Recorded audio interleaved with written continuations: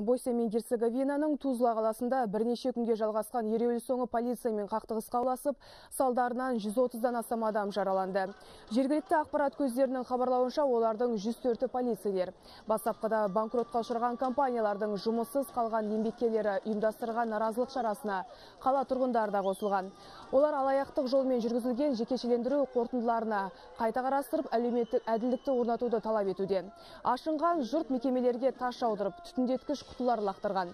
Осыдан кейін тәртіп сақшылары жұртты тарату үшін көзден жас ағзатын газ қолдануға мәжбүр болған. Шаһарда қазірде тәртіпсіздіктер жалғасып жатыр. Шерушілер дүкендерді тонап, үйлердің терезелерін сындырып кеткен. Айта кетсек, Босния және Герцеговинадағы жұмыссыздықтың ресми деңгейі 44 пайыз құрайды. Статистика бойынша орташа айлық жалақы 420 еуроны құраса, елдің әрбір бесінші азаматы кедейдің күнін кешуде